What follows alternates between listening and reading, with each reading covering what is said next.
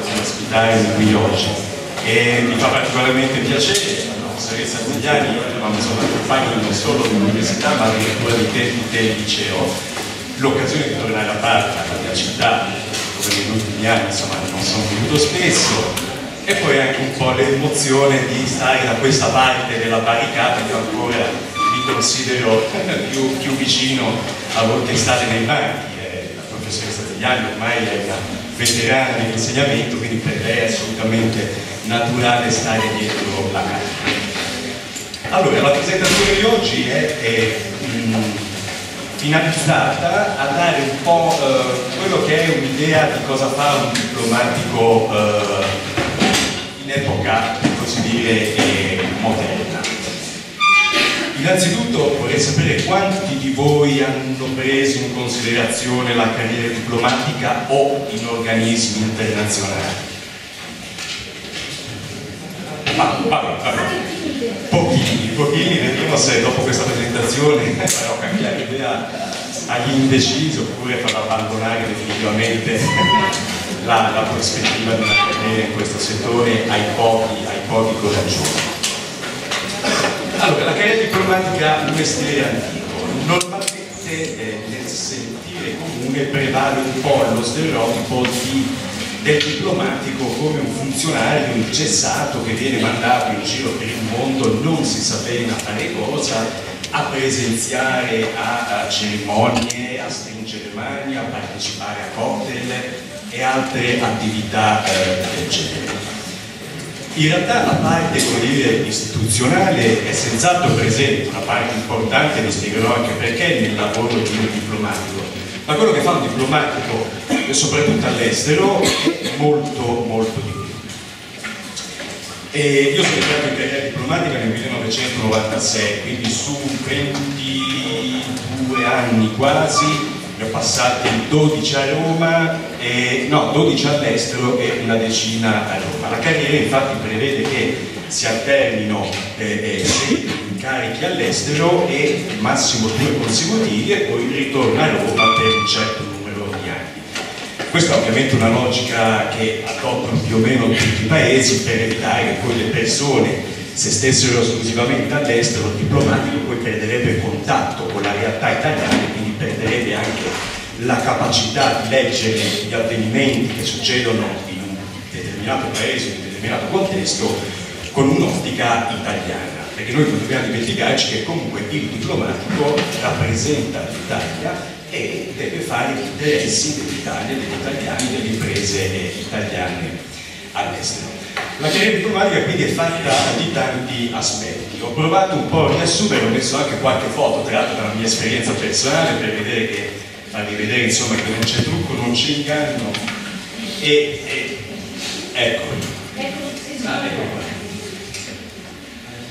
Allora, le relazioni internazionali, intanto cosa fa un diplomatico? Ah, brevissimo curriculum, sono entrato nel 96, nel 99 sono stato tre anni a Roma, dove fatto, ho servito il cerimoniale diplomatico, che è una parte insomma un po' particolare del servizio diplomatico, ehm, è l'ufficio che organizza le visite dei capi di Stato, di governo, dei ministri degli esteri in Italia, gli stranieri e gli esterni fuori. Non è di molta sostanza, ma serve un po' per capire il circo, tra virgolette, che si muove intorno a queste visite internazionali, dove non si decide nulla, ma serve per fare la foto con, oggi abbiamo visto i due presidenti coreani che si stringono la mano, quella passa alla storia. Dietro ovviamente c'è tutto il lavorio dei funzionari, delle diplomazie, le intese sotterranee, però il momento che fissa una, un determinato uh, momento politico è la foto durante la visita. E nel 99 sono andato in Nigeria,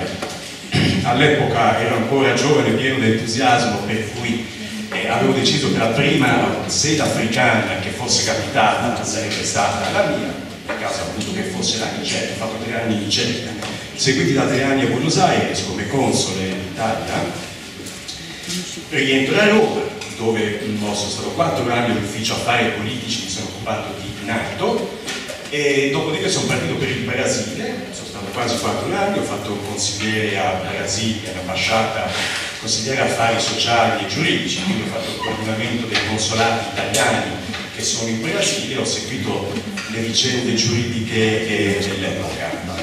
E dopo il Brasile sono stato nominato ambasciatore in Zambia, e piccolo paese abbastanza marginale per i nostri interessi, ma ottima sede per un giovane diplomatico per iniziare a fare un'esperienza da capo missione. Allora, cerco di riassumere velocemente perché poi magari vorrei lasciare anche spazio un po' alle domande, i compiti del diplomatico eh, all'estero. Ovviamente eh, il compito del diplomatico all'estero è quello di seguire eh, l'evoluzione politica, economica e sociale del paese di accreditamento. Qualcuno di voi potrà dire, ah ma nell'era della comunicazione globale si sa tutto di tutto, cosa serve mandare una persona sul posto quando da qualsiasi computer ha accesso a tutte le notizie possibili e immaginabili? E, e in realtà sì, così è vero, l'accesso alla notizia si ha, si sa cosa succede quasi in tempo reale in ogni angolo del mondo. Il compito del diplomatico è quello che deve interpretare i fatti, li deve interpretare e li può interpretare correttamente, cioè non deve essere un cronista diplomatico, riporta appunto fatti di cronaca oppure si è dimesso il ministro, questa non è una notizia che interessa al Ministero, il buon diplomatico deve eh, eh, dare, riferire a Roma, in questo caso al Ministero degli Esteri, la propria interpretazione, la propria analisi, possibilmente una previsione del, eh, del, di quelli che possono essere gli sviluppi del Paese, il tutto collegato con quelli che sono gli interessi dell'Italia eh, in quel Paese. E per fare questo è importante anche che un diplomatico che viene mandato all'estero si immerga nella vita del paese. Ovviamente un diplomatico che se ne sta chiuso in ufficio o eh, frequenta ristretti circoli non è un buon diplomatico perché comunque deve girare il paese, conoscere persone, parlare con i connazionali che sono lì magari da tanti anni, insomma tutte quelle attività che servono per per capire il paese in cui si è stati mandati il più velocemente eh, possibile. Le relazioni eh, istituzionali poi riguardano i rapporti eh, bilaterali, i rapporti bilaterali tra l'Italia e quel paese, la firma di accordi, l'organizzazione di visite, mm, sono una pluralità, possono essere citi, so, accordi e borse di studio, accordi tra università, sono, sono, sono, sono veramente eh, tanti ci sono visite, incontri e riunioni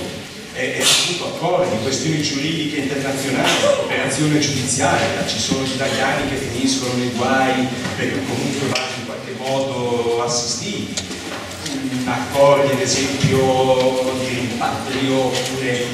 sono tantissime le attività che vengono fatte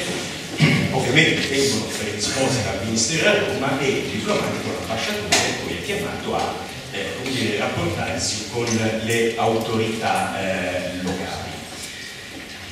Le relazioni bilaterali comprendono anche appunto una parte per così dire protocollare, per cui il diplomatico deve partecipare a cerimonie del paese, la festa nazionale, eh, e varia la deposizione delle corone di fiore a caduti, a questo, ci sono tante manifestazioni che vengono fatte dove per cortesia istituzionale il, il diplomatico straniero è chiamato a partecipare, insomma, sono molto divertenti ma anche insomma, fa parte del lavoro, siamo pagati anche per annoiarci sotto il sole, per assistere a una sfilata magari del, del, del paese in cui siamo ospiti. Ecco, qui ad esempio ho messo le tre bandiere, i rapporti istituzionali. I rapporti istituzionali prevedono anche che l'ambasciatore diplomatico, in questo caso l'ambasciatore, ad esempio la celebrazione della festa nazionale, deve mettere le bandiere, deve fare un discorso, fare brindisi alla salute dei rispettivi capi di Stato, intrattenere gli ospiti, insomma sono formalità che però dire, hanno la loro eh, importanza come forma rispetto del paese, del paese che ci ospita. Ecco, eh, ecco, questa è una bella occasione, questo era il figlio del Presidente durante la festa nazionale italiana, arrivano i militari stranieri, vanno salutati, bisogna scambiare due parole e diciamo la parte protocollare, che comunque assorbe insomma, abbastanza, abbastanza faticosa. Allora, ecco qua, sempre la festa nazionale con altri, eh, con altri ministri. Fra l'altro poi bisogna anche capire la realtà locale. Qui ad esempio la maggior parte delle foto sono tratte dall'ultima esperienza in Zambia, in Africa. Bisogna anche capire nel paese in cui ci si trova, come dire, adattarsi e rispettare la mentalità del paese. Prima per evitare i gaff e poi per cercare di come dire, io so sempre dell'idea, non tutti i colleghi la pensano così, soprattutto in altri paesi europei. Io sono dell'idea che il diplomatico all'estero è ospite del paese in cui presta eh, servizio. Quindi, in ogni caso, deve sempre avere il massimo rispetto per il paese, evitare atteggiamenti, come dire, di supponenza o appunto di salire in cattedra quotidiano, dovreste fare questo, quello, quell'altro, insomma questo lo percepiscono i locali, infatti come dire, gli italiani devo dire questo hanno, hanno una capacità di, di, empatia sviluppata naturalmente e la facilità di relazione, insomma generalmente siamo apprezzati, circondati da simpatia proprio perché per sua natura l'italiano evita atteggiamenti appunto di, di, di supponenza o di, eh, o di superiorità. Allora, discorsi, infatti, eccolo qua, ci sono incontri, questo, vabbè, per dare un'idea, questo dato contesto, questa è la sala conferenze internazionali della Farnesina, questo è un gruppo di libici che ancora al momento, questa è una foto di un paio di anni fa, sono venuti a Roma, dire, a porte chiuse, per cercare di trovare una, qualche, una qualche intesa un qualche eh, eh, accordo per poter eh, mettere, mettere, fine insomma, al caos eh, della Libia, perché c'erano quelli misurati, quelli del generale Haftar, c'erano eh, i rappresentanti di Tripoli. E quindi insomma sono tutte iniziative, non si è risolto nulla di definitivo in questa occasione, ma è stato un mattoncino per fare aumentare la confidenza reciproca eh, tra i vari, i vari attori della scena politica eh, Ecco, parlando di cerimonie, questo è lo stadio di Lusaka, mm, fra parentesi costruito dai cinesi con architettura discutibile. Ecco, questo è il funerale, non voglio insomma, eh, il funerale del presidente in carica che è mancato eh, eh, in quegli anni. Ecco, eh, stadio pieno, insomma, queste sono, sono, sono cerimonie a cui eh, dire, questi paesi sono abbastanza toccanti. Questa è stata una cerimonia dalle 9 del mattino, praticamente alle 6 di sera, con il caldo infernale, e insomma, tocca fare, abbiamo recuperato poi gli straordinari il giorno dopo. Eccolo qua. Mm. Ci sono poi una serie di attività, io nello specifico in Zambia ero accreditato anche in altri due paesi, Malawi e Botswana, paesi dove non abbiamo un'ambasciata, perché non abbiamo ambasciate in tutti i paesi del mondo, le ambasciate sono, sono non ricordo, 120 circa, ci sono una sessantina di paesi in cui non abbiamo un ufficio, abbiamo un console onorario comunque un ambasciatore di riferimento che non è residente in quel paese ma periodicamente va appunto per partecipare a cerimonie, per fare incontri. In questo caso eravamo andati in Botswana, il governo del Botswana aveva organizzato organizza un incontro annuale con tutti i diplomatici stranieri, un incontro annuale molto, molto interessante, che poi era seguito nello specifico da una visita in un parco, in un parco del Botswana dove ci ha portato in questo area militare, insomma, un'esperienza, un'esperienza un po' eh, inconsueta. Ecco qua. E qui vabbè, era un'intervista della, della televisione, della televisione zambiana Ecco qua, qua ci si trova poi veramente a dover, a dover fare attività insomma, che non, non, non, immaginava nemmeno. Muore il presidente zambiano, vengono indette nuove elezioni presidenziali. Su invito delle autorità locali avevano invitato la comunità internazionale a fare delle, delle squadre informali per monitorare dire, il processo elettorale, per dimostrare insomma, pur con le difficoltà logistiche che può avere un paese africano, comunque mm, cercavano di fare le, le, le, le, cose in maniera corretta e in maniera trasparente. Hanno chiesto anche all'Italia ovviamente di mettere a disposizione di, di, di questa piccola squadra elettorale, dicevamo io, due ragazze italiane che erano lì operanti in quel momento per un progetto eh, di sviluppo e marito di una dipendente dell'ambasciata. Fatto questo, come dire, comunicati nominativi alle autorità locali, la domenica in cui c'erano le elezioni siamo andati in giro per i seggi di Lusaka a curiosare, a vedere come funzionavano le procedure elettorali. Oh, questo qua era un seggio e devo dire ammirevole lo sforzo perché con difficoltà logistiche organizzative notevoli hanno cercato veramente di fare del loro, del loro meglio. Ecco, devo dire che poi insomma da questo punto di vista l'Africa ha fatto veramente grandi passi in avanti. Eh, eh, anche lì eh, dire, il criterio, il gioco democratico sta piano piano mettendo, mettendo radici. Considerate che fino a non molti anni fa in un paese africano appunto la, la, la, il decesso del presidente avrebbe comportato lo scompiglio dell'intervento dei militari, colpi di Stato, no. Adesso in realtà, insomma, nella maggior, non in tutti, ma nella maggior parte dei paesi viene accettato la, la normale procedura democratica e, e, si va avanti con le, le, elezioni. Questi sono incontri fatti sempre in giro per l'Africa, nello specifico questo è un paesino, era un progetto di cooperazione dove eravamo andati con i colleghi tedesco e finlandese, l'incontro col vescovo eh, della città. Insomma, incontri che spesso non hanno una diretta attinenza con quello che l'Italia sta facendo in quel paese, ma come dicevo appunto servono per creare una rete di relazioni, capire il paese e quindi riuscire anche a dare un'interpretazione ai fatti che succedono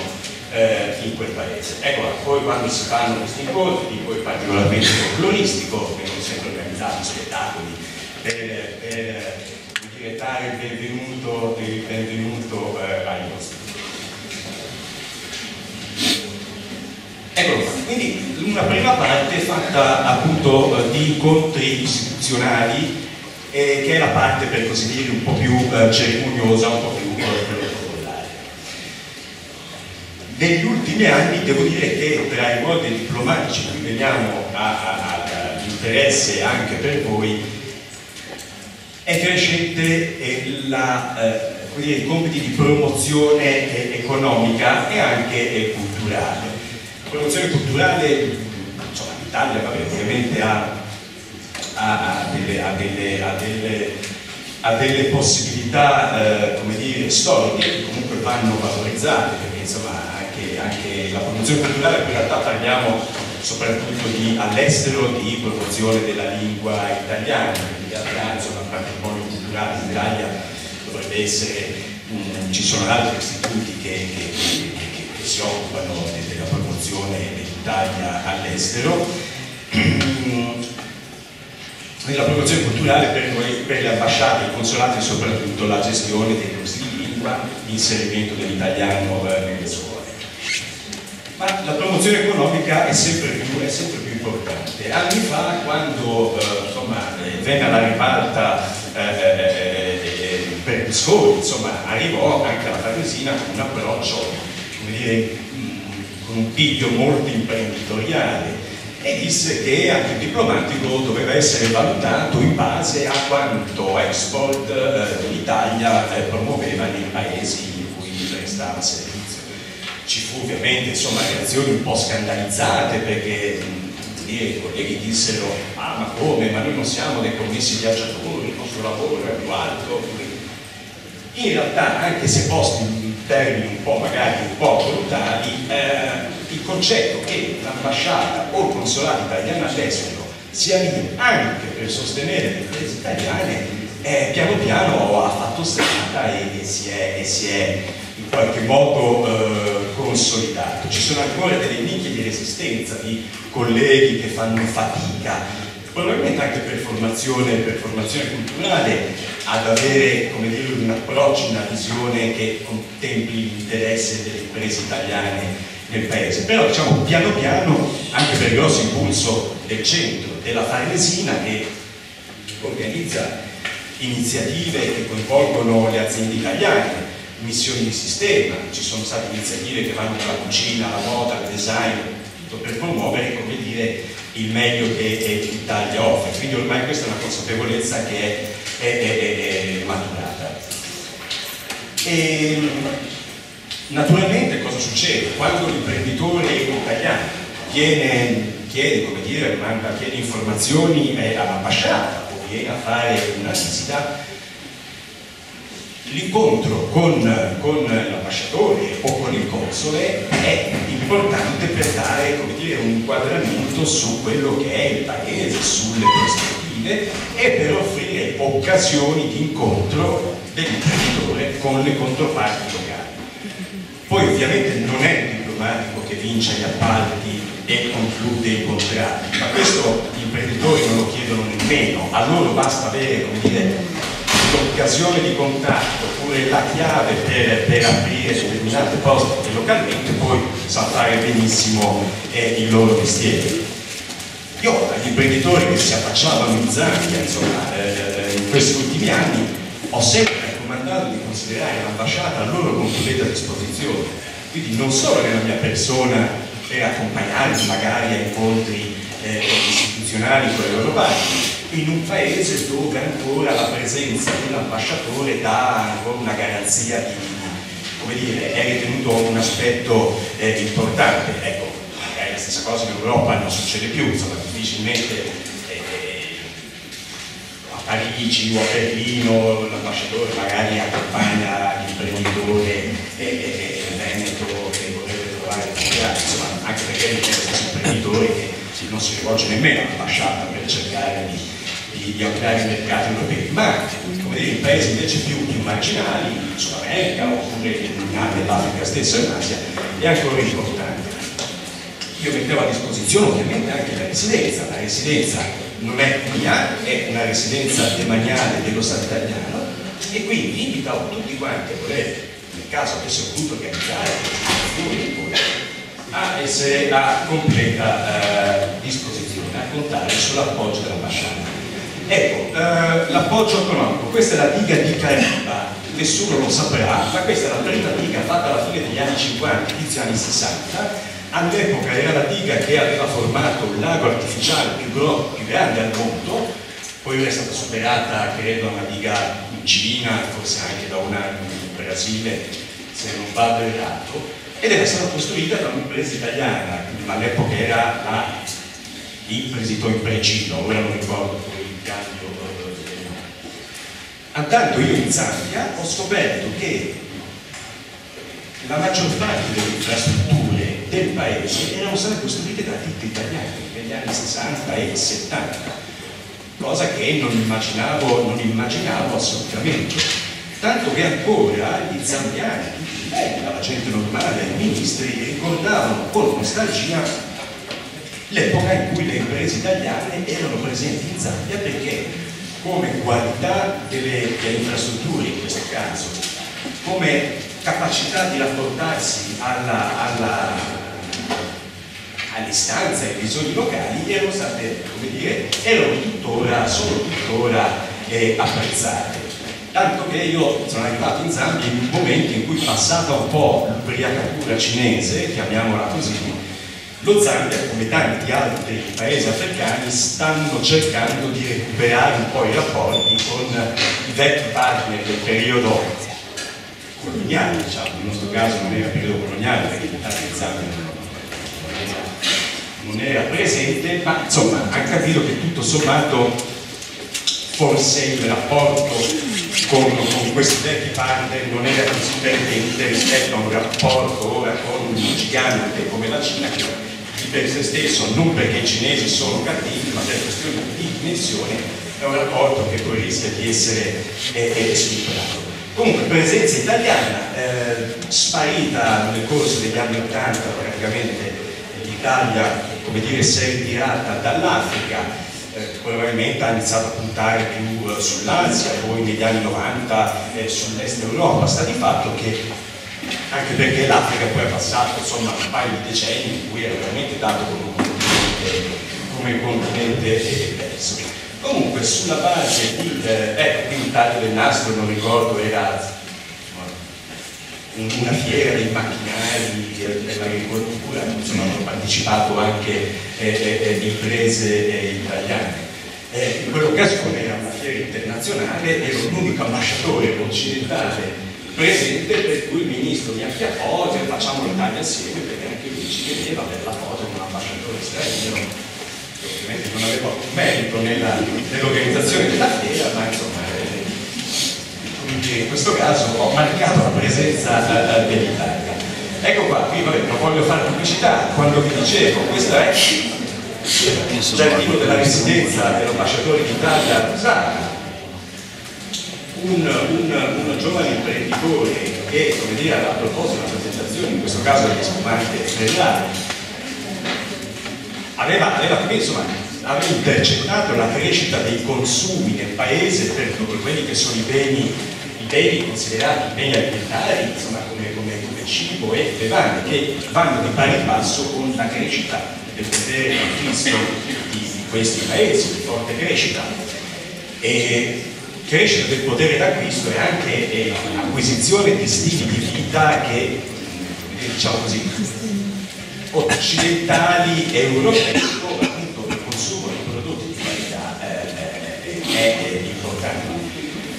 Questo, questo connazionale che stava in Zambia, lui aveva iniziato nel giro di pochi anni con un'importazione di prodotti in container ogni tre mesi, con due tipi di pasta, un tipo di olio dopo cinque anni noi piccole quantità di, di cose che, che, che portare. Lì la grande distribuzione, ad esempio in Zambia, è dominata dalle catene commerciali sudafricane, che ovviamente tendono a proporre i loro, i loro prodotti. Però, come dire, questo imprenditore investendosi su una crescita, una domanda in crescita per prodotti di qualità, piano piano si è allargato ma veramente a, eh, con, con, un grande, con un grande successo. Ecco qua, ecco qua, qui eh, erano state reclutate eh, varie persone per, per la serata. Ecco un'altra cosa, qui il primo anno in cui Zambia, la festa nazionale, ha fatto anche una sfilata, una sfilata di moda. Avevo mandato, lì io ho prestato, non ho organizzato nulla, ho solamente prestato la disponibilità ed era stata fatta una sfilata di moda con dire, eh, così, eh,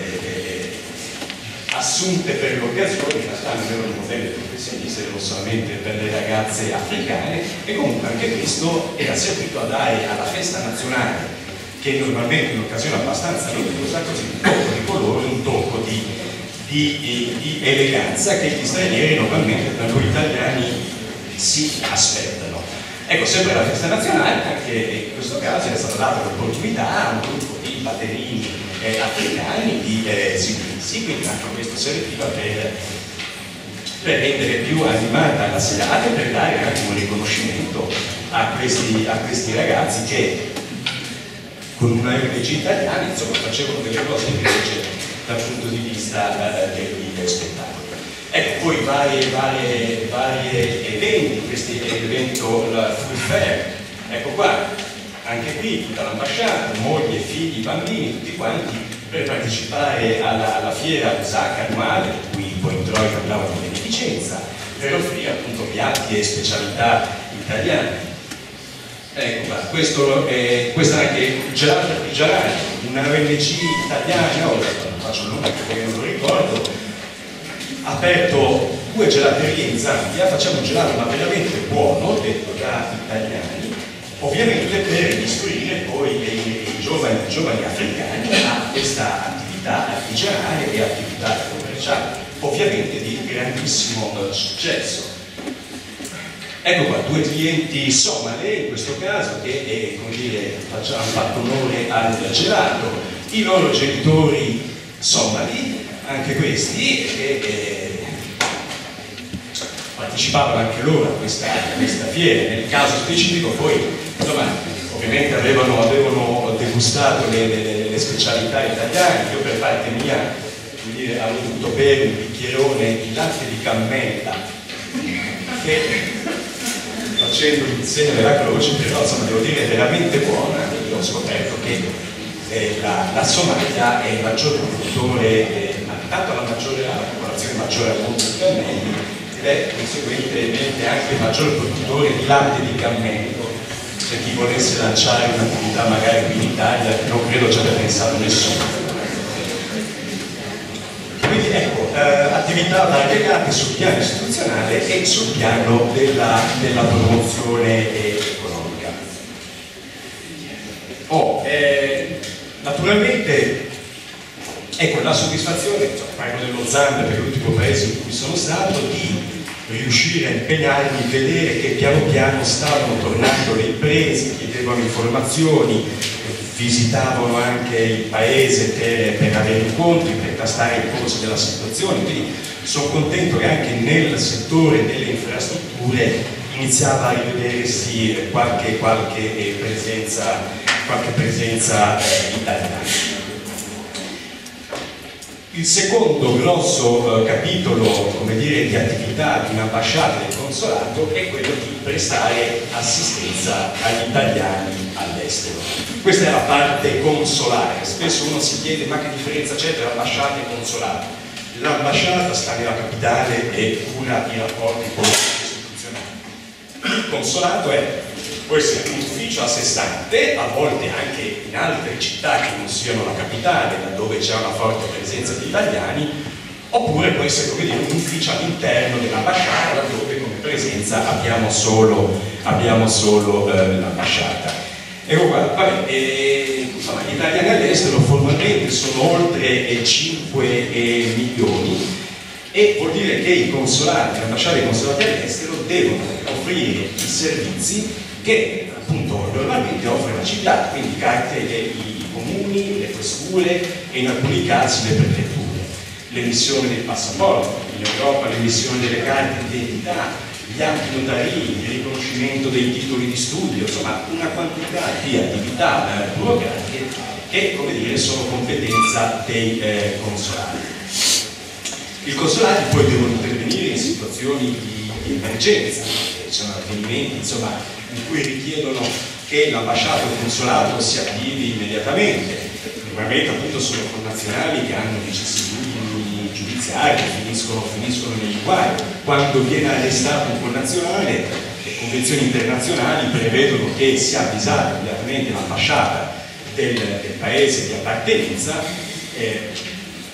non sempre avviene come dire, come dire, in maniera così, così fluida e l'ambasciata si attiva, va a fare visita al connazionale per dire, accertarsi che non subisca maltrattamenti, e, e soprattutto per far vedere anche dire, alle autorità locali che il connazionale non è abbandonato a se stesso ma in qualche modo è, è, è, è seguito dalle sue autorità diplomatiche e consolari. Ecco, come vedete, vabbè, ho riportato il numero, insomma, in Argentina, il numero degli italiani, beh, insomma, delle persone con passaporto italiano è di gran lunga il maggiore, questo ovviamente è, è dovuto al fatto che l'Argentina è stato uno dei grandi paesi di, di emigrazione a partire dalla seconda metà dell'Ottocento. Attenzione, questi 900.000, che poi ormai sono già vanno quasi verso un milione, sono per la maggior parte italo-argentini, nel senso sono argentini che terza, quarta generazione a un certo punto hanno chiesto riconoscimento anche della cittadinanza italiana. Su 900.000 azzardo che di italiani, veramente italiani solo con passaporto italiano, quindi persone che sono trasferite e lavorano in Argentina,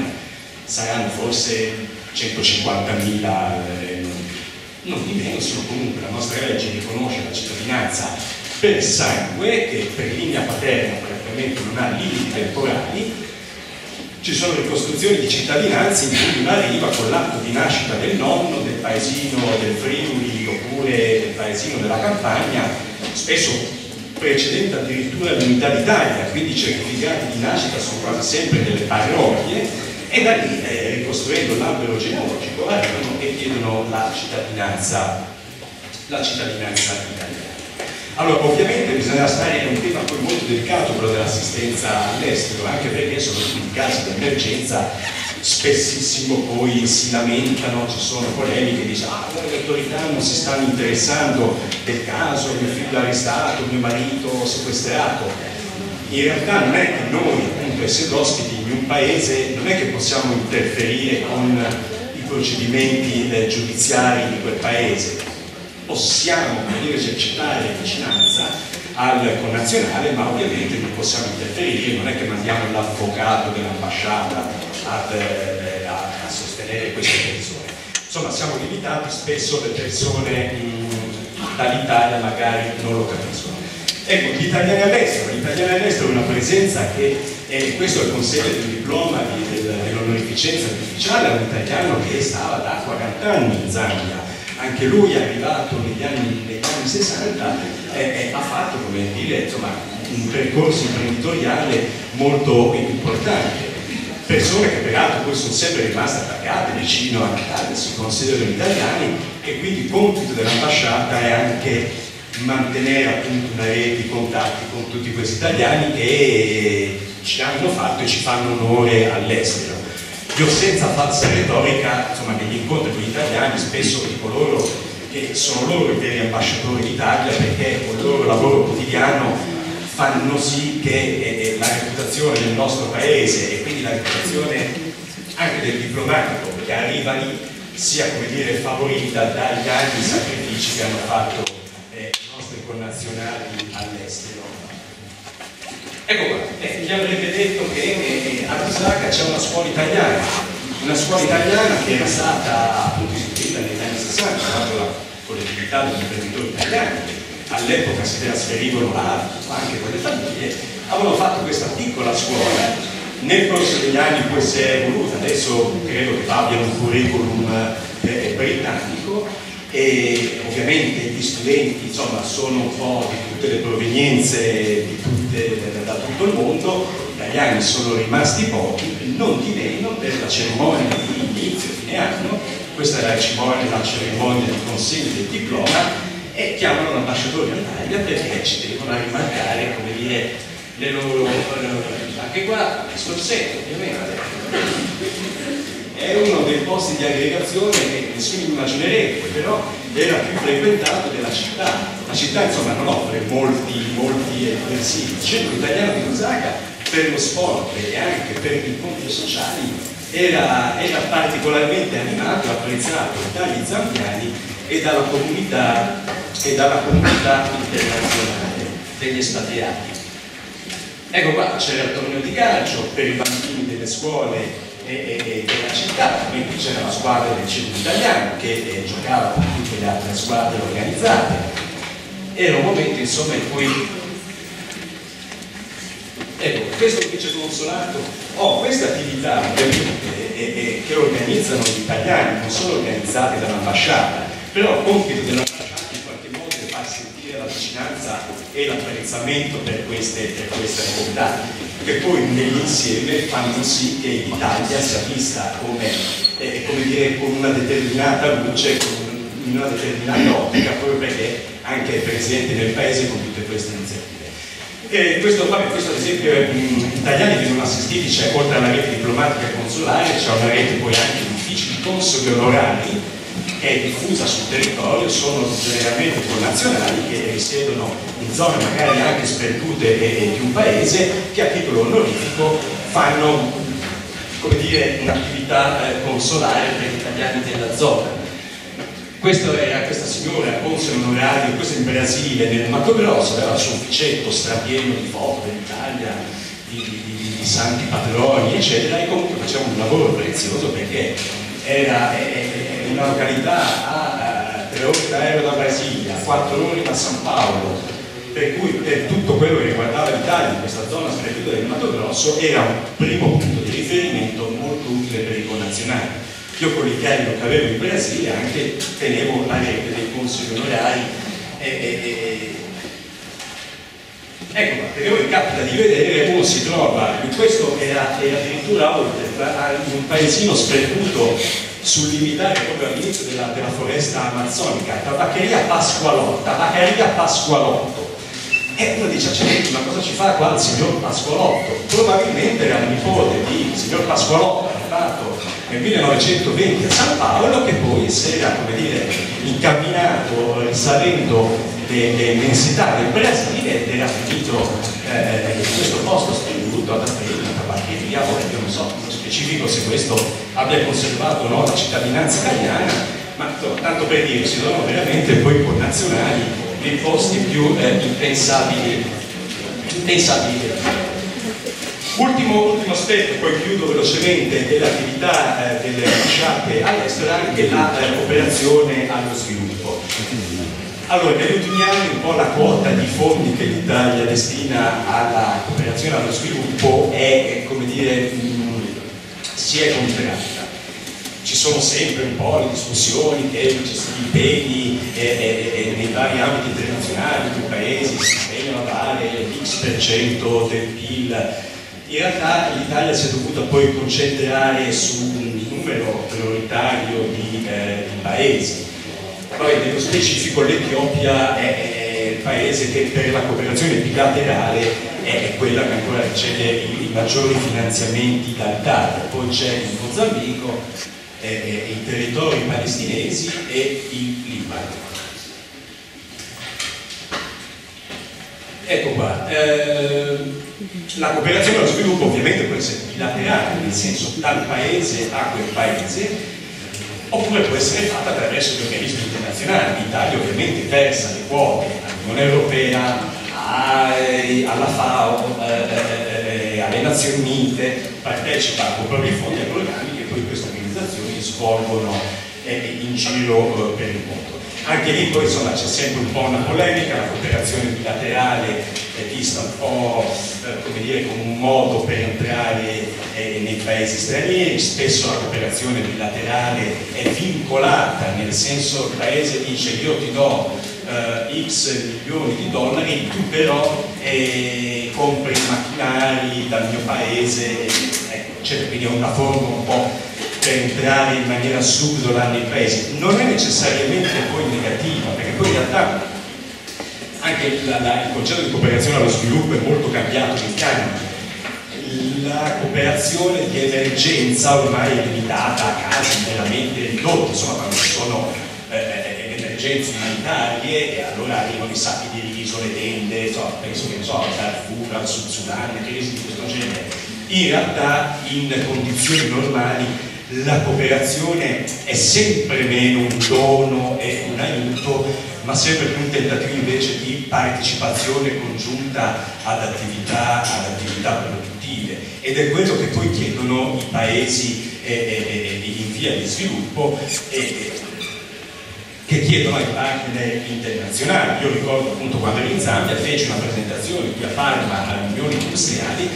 proprio perché eh, l'ambasciata zambiana a Roma ci teneva particolarmente a creare dei contatti con la realtà, nel caso specifico di Parma, perché mm, nell'impiantistica alimentare questa è una zona ovviamente molto forte. Lo Zambia, eh, che dipende quasi per una larga percentuale sull'esportazione del metallo e del rame, nel tentativo di diversificare eh, eh, la propria economia, aveva individuato correttamente eh, l'agricoltura come un settore da, eh, da sviluppare. E l'agricoltura come settore da sviluppare non per esportare eh, diciamo, materia prima, quindi grano, cotone grezzo oppure pomodoro, ma per fare delle lavorazioni e dare valore aggiunto ai prodotti. Perché l'assurdo è che in questi paesi, come dicevo prima, le catene commerciali sudafricane, che sono molto organizzate, insomma, e forti, e, scusate, succede che spesso comprano prodotti alimentari dai paesi vicini, da Mozambico, dallo Zimbabwe, dallo Zambia, li trasformano e poi li impacchettano e li rivendono nei supermercati in Zambia. Ovviamente voi siete tutti studenti di economia, capite che per il paese che appunto coltiva il pomodoro ma non fa nessuna lavorazione, nella catena puoi vedere se tornare appunto il pomodoro impacchettato in Sudafrica eccetera, capire che il valore aggiunto non rimane eh, eh, nel eh, paese. Quindi la cooperazione è sempre più una, una, una cooperazione che viene fatta per eh, dire, partecipare al ciclo eh, produttivo. L'importanza anche della cooperazione del terzo settore, tanto la cooperazione non è solo nazionale, ma c'è anche una quantità di ONG italiane e anche di imprese, di grandi società, di grandi gruppi che della responsabilità sociale ormai hanno fatto un concetto eh, acquisito, per cui eh, come dire, i grandi gruppi, adesso non faccio nome, dedicano già una parte eh, eh, eh di, di, di, risorse a sviluppare dire, la società economica, il lavoro nei paesi in cui magari eh, sono, sono ospitati. Si è capito che insomma quindi anche il benessere delle popolazioni del paese, la ricchezza del paese in cui si opera, poi alla fine torna anche come vantaggio poi per la stessa, per la stessa eh. Ecco, eh, infatti ho messo la cooperazione sta adottando sempre più un approccio di coinvolgimento del settore privato, sia da parte delle istituzioni pubbliche che da parte dei, dei gruppi eh, allora, eh, ecco qua, cooperazione allo sviluppo, questa è la presentazione di un'iniziativa di beneficenza di un italiano che ha pensato bene di andare in bicicletta da Lusaka a Londra, prendendo l'aereo al Cairo fino in Italia, il mare non ha pedalato sulle acque, però si è fatto tutta l'Africa e poi tutta l'Europa in bicicletta, con una bicicletta il cui telaio era in bambù fatta da dei ragazzi nigeriani e sudafricani, una bicicletta di bambù, non pensate a una cosa, era di, di, di livello tecnologico eccellente, infatti costava anche una, una, quantità di soldi, ha fatto poi un libro su questa, su questa sua traversata di 3.000, 4.000 km, quanto erano, questa era la presentazione, la partenza del villaggio dove aveva sede il programma di questa ONG italiana, con tutto il villaggio presente, e persone, animali, e, ed era l'evento, eh, ecco ma questa è la partenza, eh, i primi chilometri fatti assieme, dopodiché questo, questo ragazzo era andato e ha attraversato, ha fatto tutti i paesi fino, fino all'Egitto per raccogliere appunto fondi per questa eh, eh iniziativa. Ecco qua, questo è un altro progetto, sempre di ONG eh, italiana, in questo caso era una scuola in sostanza a Livingstone, dove ci sono le cascate di Vittorio, che è una zona turistica, e quindi c'è questa specie di scuola alberghiera dove, dove, gli studenti imparano a fare eh, lavori, eh, eh, lavori anche Ecco, queste le aule, visita le aule dove c'erano questi corsi alberghieri. E guarda, questa è un'altra scuola. Questa scuola semplicissima è stata finanziata da un gruppo di amici, un gruppo di amici romagnoli, di Rimini Riccione, non ricordo, e uno di questi, facendo un viaggio in Africa, era capitato in questo villaggio verso, verso verso la Namibia e aveva visto appunto c'erano gli studenti che facevano lezioni all'aperto sotto. Insomma, ha preso contatti, è tornato in Italia, con varie iniziative hanno raccolto una somma tutto sommato modesta e hanno costruito titolo privato questa scuola per mettere un tetto sopra eh, la testa eh, degli studenti. Naturalmente l'ambasciata non c'entrava nulla in tutto questo, però io sono andato, ho partecipato alla cerimonia, il signore con la maglia bianca e il signore romagnolo benefattore, la signora era il eh, insomma, l'addetto della pubblica istruzione e, e della cerimonia, anche lì un discorso, firma del libro d'onore. Ecco, questa è un'altra, un'altra iniziativa nel nord dello Zambia verso il Congo, anche qui sempre l'ONG privata, fanno iniziative bellissime, apprezzatissime, in cui ripeto, l'ambasciata non può fare altro che dire, apprezzare, valorizzare e quando richiesto come dire, e fare presente in questo caso una consegna di diplomi per la fine di corso. Quindi, Totti Zampiano aveva superato con successo il, il corso. Ecco qua. No, tutti i diplomati eh, eh, del, del, corso. Ecco, un altro spettacolo, il signore con la barca, un missionario, eh, anche lui nella periferia di Usata, come dire, faceva, eh, ha una scuola, e, una scuola anche che comprende una componente teatrale, questa era l'esibizione annuale della scuola, quindi anche lì l'ambasciatore va e si gode dello spettacolo eh, dei ragazzini che, che ballano e cantano. Ecco, oh, l'ultima foto. Allora, questa, questa, foto è stata fatta e scattata in una cittadina al confine tra lo Zimbabwe e il Mozambico mentre stavamo facendo benzina al benzinaio. Allora, al di là di quelli che sono i compiti del diplomatico, istituzionali, promozione economica, cooperazione allo sviluppo, assistenza agli italiani, tutti questi compiti è importante che il diplomatico li affronti con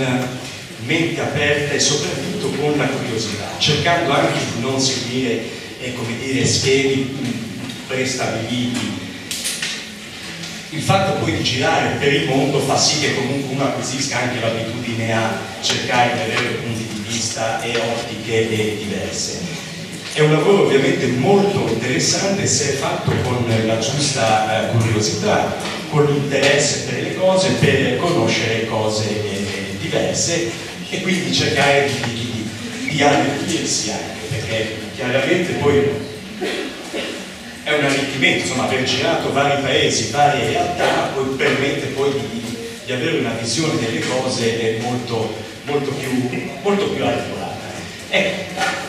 quindi questo vuole essere una, una, una, foto emblematica per dire di non fermarsi alla banalezza, di chiedersi sempre ma cosa, cosa ci può essere dietro. Questa signora cammina per la strada e si porta il suo trolley sulla testa allora, il primo commento, vediamo la parte che siamo all'epoca preistorica, è possibile, non sa neanche il peso della quota. E invece poi può farsi anche tante altre domande, perché magari la signora lo porta perché le rotelle sono scassate, o perché in quella cittadina i marciapiedi sono talmente sconnessi per cui alla fine non riesce a trascinare il codice, oppure perché per avere le mani libere, per, quando incontra i conoscenti della città, per dare le mani, perché in Africa spesso si danno le, le due mani, non lo sappiamo. Questo è solo per dare un piccolo esempio di come insomma debbano essere un po' affrontate le esperienze che uno, che uno fa all'estero in contesti diversi, quindi con curiosità, con positività e con eh, ottimismo. Allora, questa è una carrellata, insomma non voglio dilungarmi troppo, è una carrellata un pochino su quello che fa il diplomatico all'estero. Io ora non lo so se vi interessa velocemente sapere quali sono... Ah ecco, quello che dico, ovviamente, io mh, mm, parlo per la carriera diplomatica italiana, naturalmente gli stessi concetti valgono per chi mai intendesse fare una carriera nell'ambito della, della, della, Commissione europea oppure nell'ambito ad esempio delle Nazioni Unite. Eh, la Commissione europea, il servizio esterno della Commissione europea ormai è, dire, è, è diffuso in tutto il mondo. Quindi ci sono ambasciate dell'Unione Europea dappertutto, comprese le sperdute isole nel Pacifico,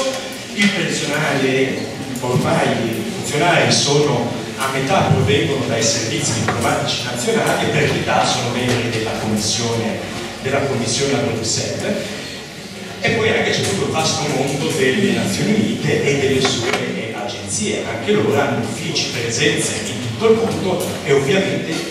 sono, sono ovviamente agenzie economiche agenzie che si occupano dei, rifugiati o dello sviluppo e comunque offrono una possibilità di carriera in giro per il mondo in settori eh, eh, sempre diversi e assolutamente interessanti. Va bene, io non so se eh, volete sapere un po' come si accede o se no lascio alla professoressa Zigliani il compito. Allora, per accedere alla carriera diplomatica c'è un concorso annuale, bisogna essere ovviamente cittadini italiani, età non superiore ai 35 anni. C'è una serie di lauree che, che, che consentono di fare il concorso, evidentemente sono lauree che hanno a che fare con l'attività poi eh, diplomatica, non c'è medicina e non c'è nemmeno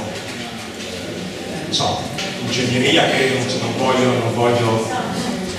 ecco, la maggior parte poi dei diplomatici che di carriera comunque provengono da, forze di cose, da scienze, da scienze politiche. Ovviamente in Italia succede che poi, eh, soprattutto anche come provenienza geografica, eh, Roma fa da padrone, diciamo che poi allontanandosi dal palazzo della Farnesina diminuisce il numero di diplomatici che tentano il concorso.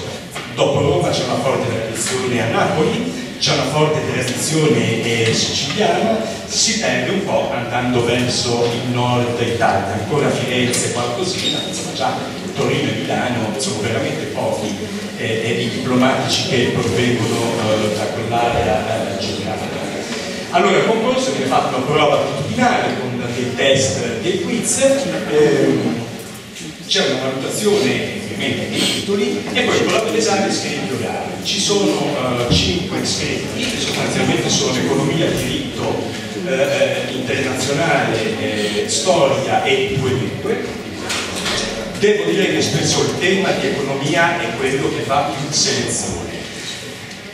anche perché laureato in scienze politiche eh, sì, l'economia ovviamente eh, la fanno però dico ad esempio nella mia esperienza nel mio, quando ho fatto l'esame il tema di economia è falsamente facile perché sembra un tema tutto sommato di cronaca eh, eh, all'epoca mia è un tema che era sui parametri di Maastricht allora nel cammino verso l'Unione Unica, dell'Unione Monetaria, che dicevano parametri di Maastricht era il deficit e i tassi di interesse, ora non mi ricordo. Allora, all'epoca tutti parlavano, sapevano cosa fossero i parametri di Maastricht, ma fare un tema per saper spiegare come le, le variabili economiche interagiscono tra di loro, tasso di interesse, l'inflazione, l'occupazione, il deficit, lo studente di economia diciamo, parte avvantaggiato perché sicuramente riuscirà a descriverle in termini più corretti rispetto ai colleghi di scienze politiche oppure di, uh, di eh, giurisprudenza. E, allora, poi ci sono le prove di lingua, oggi la lingua obbligatoria è solo l'inglese, poi c'è una seconda lingua scelta tra francese, spagnolo e tedesco e la prova di lingua è semplicemente una prova di conoscenza linguistica, insomma, un tema così di carattere generico su cui tutti sanno scrivere, fatta solamente per testare le capacità eh, linguistiche. Ecco qua, l'orale è poi su un testo scritto più varie altre discipline comunque nel settore più o meno eh, dell'economia, del diritto e della politica. Eh, il luogo di lavoro ovviamente si lavora a Roma, Ministero degli Esteri, 123 ambasciate, 80 consolati, 8 rappresentanze permanenti presso le Nazioni Unite, presso l'Unione Europea, presso la Nato e via, eh, e via eh, Ecco, in quanti siamo? Uh, il Ministero degli Esteri siamo quasi 4.000 persone, tra diplomatici siamo poco più di 900 e il resto del personale amministrativo eh, eh, eh, in cui sono circa 3.000. Di questi 4.000, 2.600 sono in servizio all'estero, il resto sono in servizio a Roma.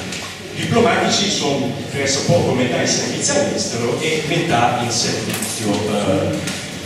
Allora, eh,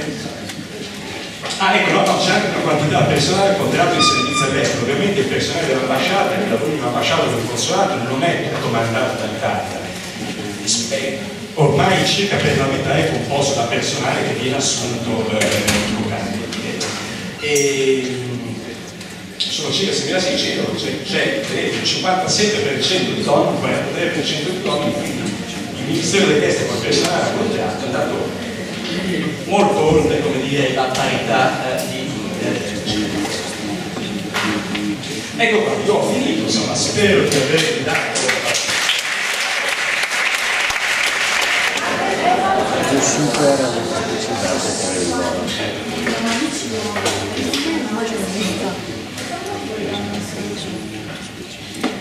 eh, questo è, non lo so, nel mio, nel mio concorso nel 96 siamo entrati in 23 erano eh, 11, 11 donne e 12 uomini. Quindi 20 anni fa c'era quasi una, una parità negli ultimi concorsi le donne sono tornate a essere non lo so, io credo che allora al, agli esami, quindi sia al test attitudinale che alle prove scritte, non c'è una grossa differenza tra i partecipanti uomini e donne, pressappoco sono,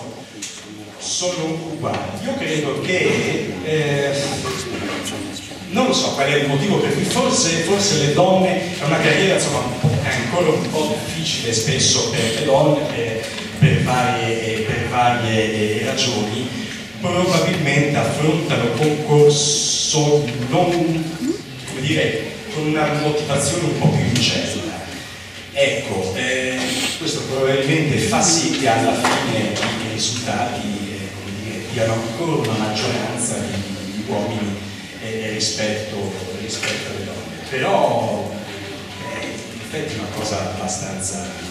c'è ovviamente una piccola percentuale di donne molto motivate, molto preparate che entrano in carriera e arrivano anche ai livelli massimi della carriera diventando eh, ambasciatrici, ambasciatori di rango eh, eh,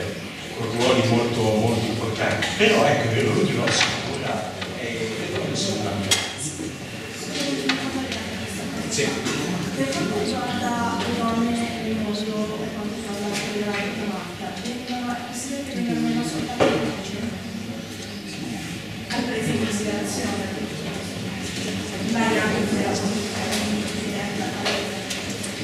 Ah, sì, per alcuni paesi questo può essere, può essere ancora vero. In realtà nella stragrande maggioranza dei contesti in realtà eh, come dire, le donne insomma, sono veramente capaci, la cristiana hanno anche hanno veramente una marcia in più. Quindi la barriera del fatto che dire, siano prese meno seriamente in considerazione riguarda ormai un numero veramente ristretto di realtà, non voglio negare che, che in nostri paesi ci sono ancora un po' di, di, di reticenze, però ecco, è, è marginale, diciamo nel 90% dei, paesi non c'è un aspetto di questo tipo che in qualche modo penalizza le donne Se uno guarda il numero di capi di Stato, in Parlamento, dei ministri, in Italia devono sapere perché sì. guardate rispetto a Stati europei e in Africa ci sono più donne ministro di Ecco, per fare un esempio, un po' meno in Zambia, ma in Botswana, anche un paese molto marginale, ad esempio, ha eh, eh un grado di sviluppo su questi aspetti, anche lì sicuramente la metà, una percentuale molto importante di ministri del governo, no, come diceva la professoressa, sì, a volte ecco, l'Italia magari ancora un po', un po' arranca un pochino su questi aspetti, ma insomma resto del mondo è superato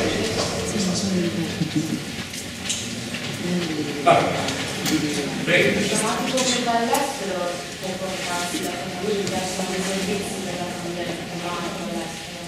No, servizi no, eh, come spesso succede dobbiamo arrangiarci dal primo all'ultimo aspetto della vita all'estero. Sì, si porta la famiglia normalmente e a meno che non si tratti di un servizio in paesi dove, dove non è consigliabile portare la famiglia eh, in questo momento.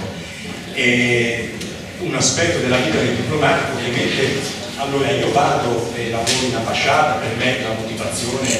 è, è, è già insita nel fatto che lavoro, faccio, faccio la mia attività.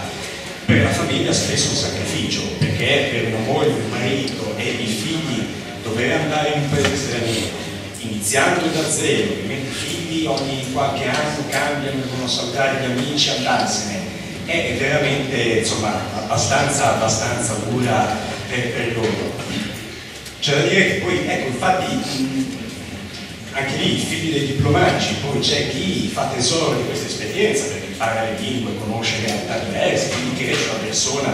con la mente aperta e ci sono altre persone invece che subiscono in maniera attiva questo tipo di vita e poi alla fine spesso risultano magari dire, così, senza punti di riferimento e si perdono, si perdono un po', perdono le radici in Italia eh, e si perdono nel vasto mondo e quindi insomma diventano un po' degli, eh, degli spiantati. Però nella maggior parte dei casi, insomma, se la famiglia è insomma, coesa da i giusti codici ai figli, insomma, la vive positivamente questa esperienza all'estero è un fatto, è un fatto eh, positivo. C'è da dire che eh, l'aspetto interessante, perlomeno a me che sono un è che questo lavoro, bello o brutto che sia, dopo un certo numero di tempo si volta pagina e si inizia un'altra esperienza. Per cui non solo non si fa mai la stessa cosa a Roma, ma poi c'è anche chi sceglie fare sempre, si specializza in un settore e sempre quello. Non si va negli stessi contesti, nelle stesse, nelle stesse realtà è interessante, uno può andare a New York alle Nazioni Unite come può andare in un paese africano o a fare il console in Argentina. Ognuna di queste esperienze è molto diversa, diversa dall'altra e, e, e, in qualche modo arricchisce. Noi nel posto dove siamo stati, insomma, ci siamo sempre trovati benissimo e quando si è trattato di voltare pagina l'abbiamo voltata con un po' di nostalgia, insomma, con tanta riconoscenza.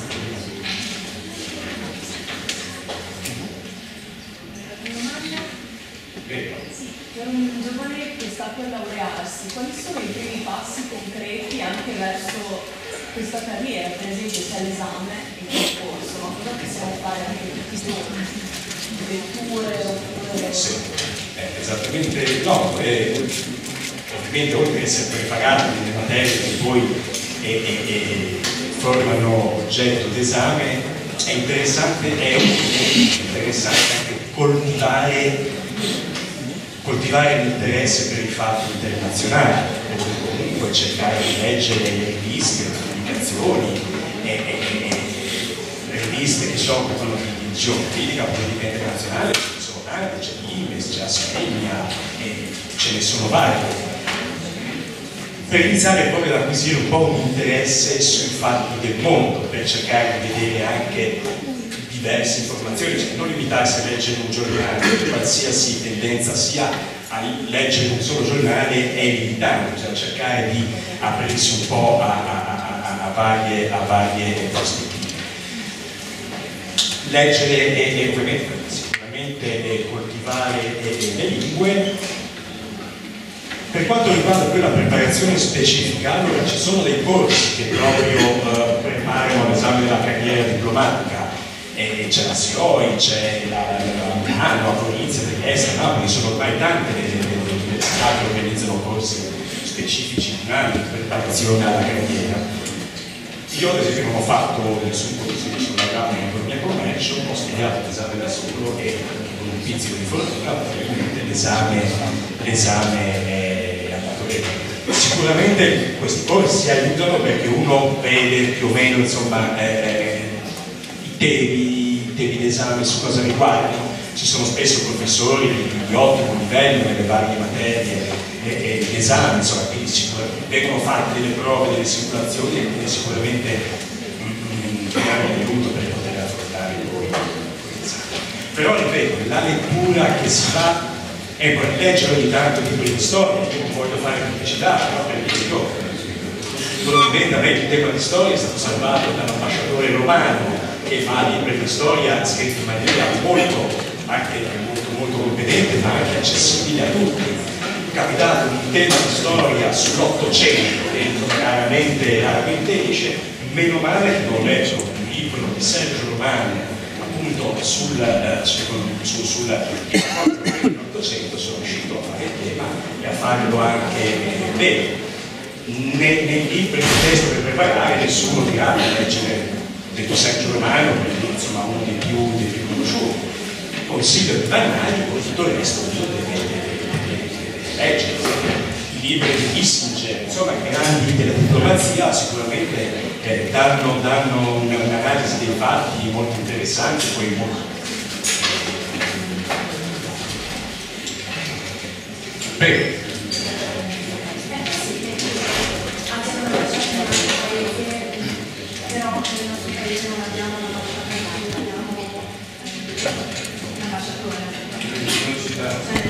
Sì, ah, sì, sì, no, succede, cioè, ovviamente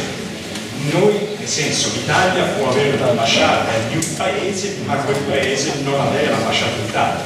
Sì, questo succede regolarmente, ogni paese è libero di decidere quante ambasciate aprire per il mondo,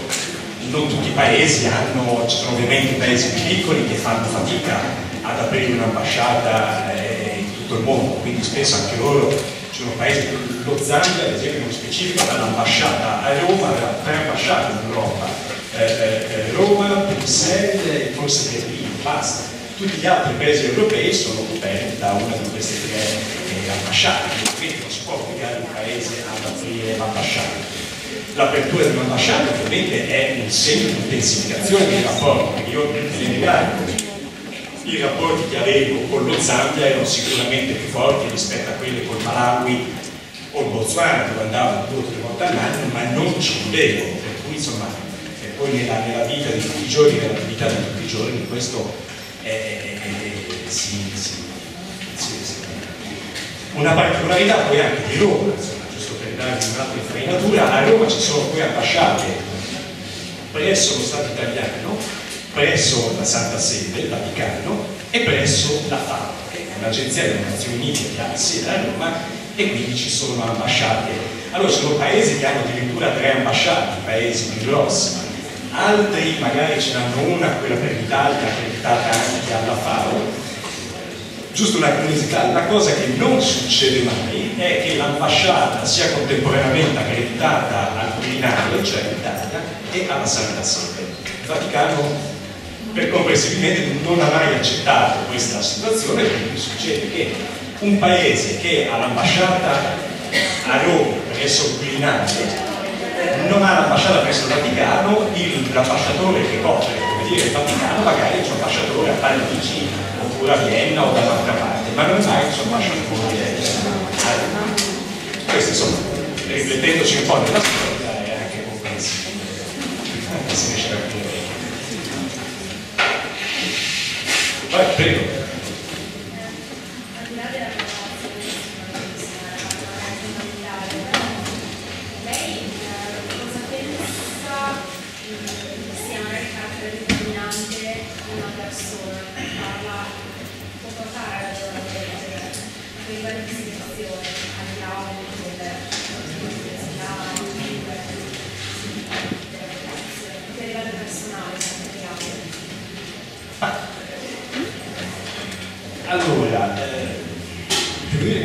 Persona, eh, cioè la curiosità nel senso di non fermarsi mai al primo aspetto delle cose,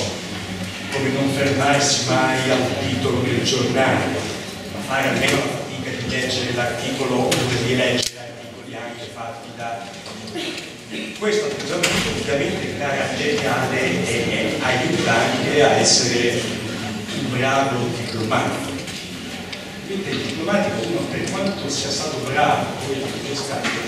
non è detto che chi poi ha buone valutazioni nell'esame poi lungo la carriera poi sia quello che dire, ha i maggiori successi. Per cui conta anche qui tanto la capacità caratteriale la capacità di interagire con le persone. È molto più ricco il lavoro del diplomatico rispetto a cinque temi uno può sapere a memoria diritto internazionale è un manuale di 300 pagine se lo studia dalla prima all'ultima virgola e fa un bel tema. Però altra cosa è sapere il diritto internazionale alla vita o le leggi economiche, altra cosa è utilizzare questa preparazione e calarla nelle realtà, cioè è molto più importante capire la realtà in cui uno ha a che fare che non la nozione, la nozione di base, quindi il fatto di,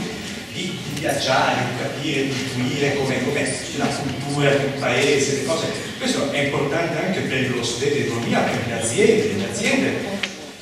gli approcci che hanno le aziende, come dire, nei mercati esteri, non possono, tenere conto delle diversità dei vari paesi. Quindi, come è vero nell'ambito economico, a maggior ragione è vero anche per un'attività eh, con tante sfaccettature come quella diplomatica. Ecco, quindi direi che oltre alla preparazione sostanziale di base, poi la differenza la fa la capacità di riuscire a leggere le cose e a dare un'interpretazione. La, la, quantità di notizie che circolano, uno ormai su internet trova tutto il contrario di tutto. Allora, in questo mare di informazioni, sviluppare una sensibilità per capire tanto quali sono le informazioni interessanti e collocare queste informazioni dire, in una costruzione mentale che poi dia un senso dia un senso alle, alle, alle notizie. Questo vale per tutti eh, i lavori che presuppongono eh, un'analisi, che sia economica o che sia, che sia, politica. Anche i dati economici. I dati economici se sono, sono astratti, devono per forza essere relazionati a una realtà eh, di un paese, di una fase di sviluppo di quel paese, non possono essere dire, solo prese così da soli, sono solamente il primo passettino per poi costruirsi una una visione d'insieme.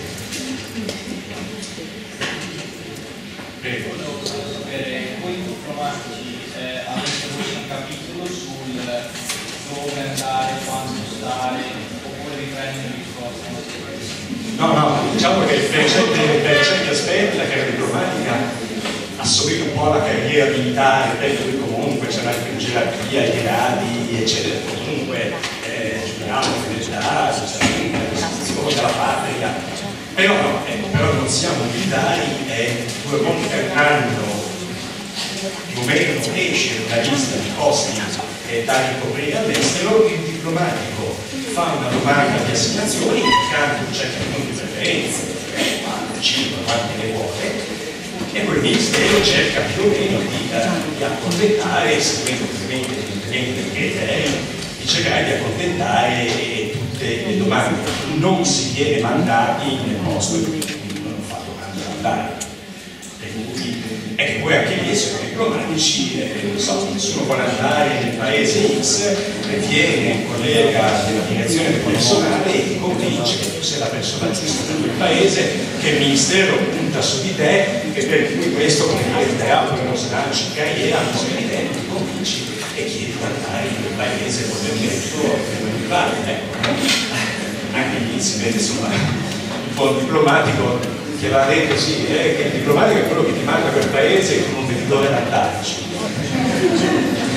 Quindi però no, ecco, diciamo siamo la domanda che viene fatta. Per quanto riguarda la permanenza ci sono dei criteri. Normalmente nei paesi normali così 3-4 anni, 4 anni è il termine massimo i paesi più eh, disagiati, dove magari sono situazioni di guerra, insomma, in Afghanistan, situazioni simili, il periodo minimo è due anni. Dopodiché il periodo massimo è quattro anni e questo è un criterio che viene adottato le diplomazie, anche lì, come dicevo, eh, per evitare che uno, uno dice, dopo quattro anni conosce molto bene il paese, ha difficoltà, eccetera, però se uno stesse troppo a lungo in un paese all'estero, poi dopo un po' diventa ambasciatore di quel paese, non più dell'Italia, perde il contatto con la realtà, si muove benissimo in quel paese, ma eh, perde la visione, la visione,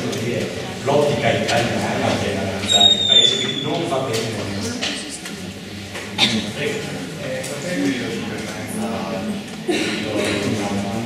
Allora, ritorno a Roma minimo è due anni, sono due sedi da quattro anni, insomma otto anni non si torna mai, sono sempre sedi perché poi, poi mese più, semestre più, semestre meno, e poi ritorna a Roma almeno due anni, di solito quel periodo normale è più lungo, a meno che uno per di su e non voglia partire immediatamente per l'estero, fa domanda per posti dove non sia una persona giusta e sono posti dove, dove uno a terra sta lì indispensabile, chiede di andare e viene rimandato, rimandato con tanti ringraziamenti da parte sua. Però cioè, io sono rientrato dallo Zambia nell'estate del 2015, saranno tre anni ad agosto, l'anno prossimo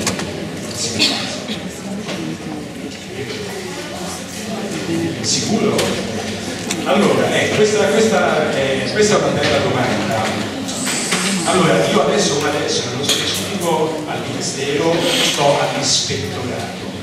L'ispettorato eh, del Ministero si occupa, tra le varie cose, della sicurezza delle nostre ambasciate, dei nostri uffici all'estero e del personale. Va da sé che il contesto internazionale di sicurezza, diciamo così, è molto fluido. Proprio in questi ultimi 3-4 anni abbiamo dovuto rivedere le nostre politiche di sicurezza all'estero, perché posti che fino a pochi anni fa erano assolutamente sicuri e dire, non esposti ad alcun rischio e oggi non è solo non ha perso oltre alla sicurezza delle sedi, degli uffici, termini, delle muri tecniche, le camere, i guardiani, eccetera, eccetera, l'ispettorato del Ministero dà anche istruzioni al personale, è previsto che l'ambasciatore o il console periodicamente dia un'istruzione al personale su quelle che sono le misure di sicurezza le precauzioni da adottare all'estero. Ovviamente vogliamo criteri generali, poi ognuno declina a seconda del contesto in cui è. E comunque la prudenza è, è, mantenere un atteggiamento eh, di basso profilo viene raccomandato a tutti quanti. Spesso, soprattutto i, più giovani, fanno un uso molto eh, disinvolto dei media sociali, per cui ah, eh, mare, andiamo escursioni, campagne, eccetera. Questo è un atteggiamento che per uno che sta all'estero è pericoloso. Non si sa che viene affidato determinate informazioni all'esterno e anche perché come dire, c'è l'ambasciatore che è uno, ma comunque il personale dell'ambasciata, nell'ottica di un terrorista, è lo stesso obiettivo che come dire, premiato dalla logica di un terrorista. Quindi noi cerchiamo di, cerchiamo di, di controllare molto le nostre ambasciate, insomma, Topoleno, abbiamo avuto l'episodio, è stata una bomba al Cairo, però eh, insomma, tutto sommato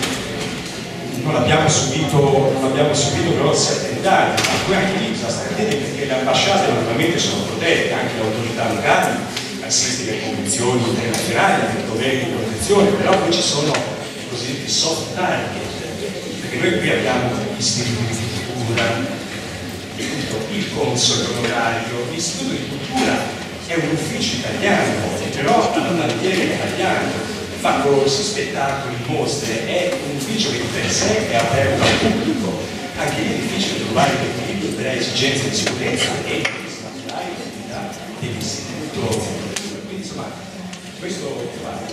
toccato un tasto particolarmente attuale della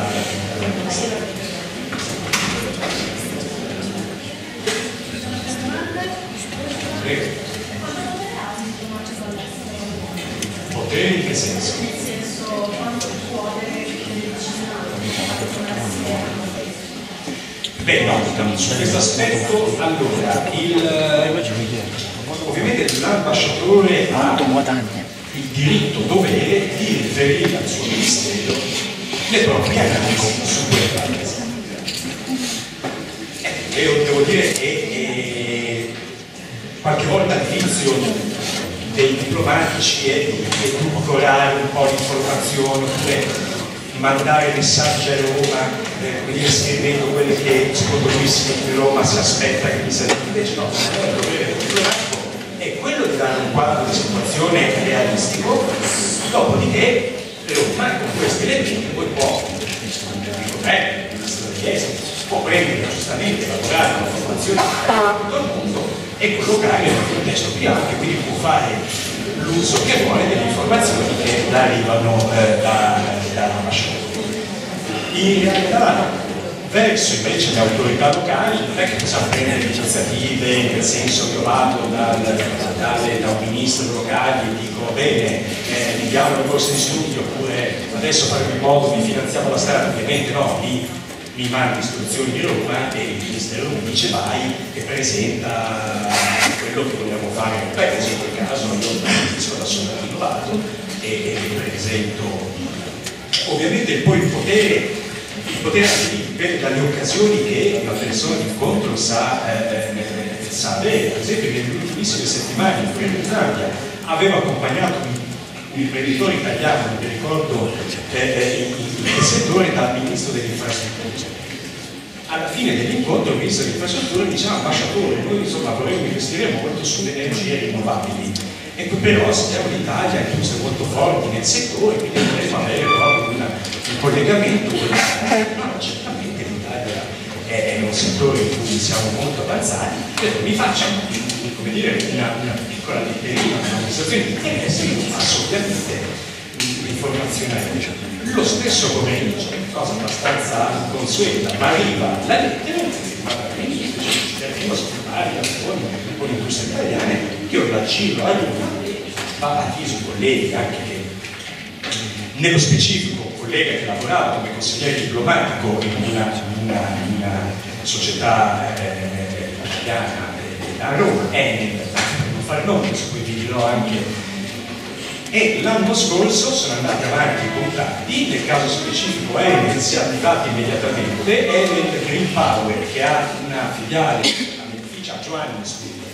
Ha detto al loro funzionario vai in Zambia e senti un po', cerca di capire meglio, da qui un contatto, l'anno scorso ha detto che Enel Power ha vinto un appalto per un impianto fotovoltaico fuori di Zambia, non so quanti megawatt, per dire nato da uno spunto di, di, di un incontro del genere. In questo caso ha potere, ha la possibilità, le occasioni di prenderle e di usarle, usarle, di usarle Ho fatto l'esempio di Enel perché ecco, eh, i consiglieri diplomatici, o meglio, quando si lavora in Italia c'è anche la possibilità di essere distaccati all'esterno della farmacina. Per cui un diplomatico può essere distaccato o presso un altro ministero, perché comunque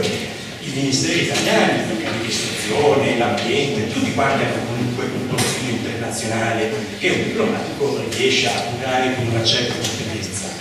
Ma ci sono anche imprese e gruppi, per cui sono quelli a partecipazione anche statale, che per la loro natura, per la loro proiezione estera, chiedono, si accordano con la farnesina per avere un funzionario diplomatico che presta servizio presso di loro. Per fare qualche esempio, eh, c'è oltre al collega che sta all'Egel, e diciamo il consigliere diplomatico anche a Leonardo. Leonardo per la natura del commercio che va, per la posizione esterna, ovviamente ha contatti internazionali notevoli, è a Leni il funzionario diplomatico, ovviamente anche lei, e anche dire, insomma, ha una proiezione internazionale notevolissima.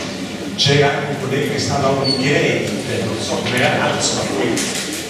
Ecco, questo per dire che poi ci sono occasioni, ci sono consiglieri diplomatici anche presso certe regioni, certe città. Firenze è dotato di un consigliere diplomatico, c'è stato un consigliere diplomatico poi distaccato di due anni che hanno preparato Expo a Milano, realtà siamo più di uno, hanno messo una piccola squadra di diplomatici a lavorare per il comune, la regione di Milano per organizzare eh, questo, questo grande evento. Quindi insomma è una carriera che offre veramente, veramente tanti sbocchi, tutti articolati e, e interessanti. Bene.